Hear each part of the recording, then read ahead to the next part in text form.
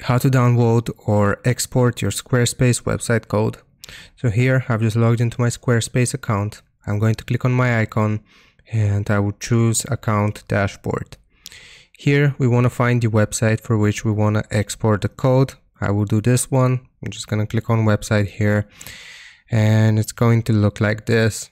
Now from the left hand side, we want to go to settings and then from the main page here for website, if we scroll down, you will see import and export content. Now, if we click on export here, it will begin generating our code for WordPress.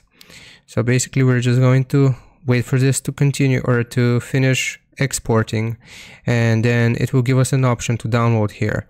So we can click on download and this will download our uh, Squarespace website in WordPress format.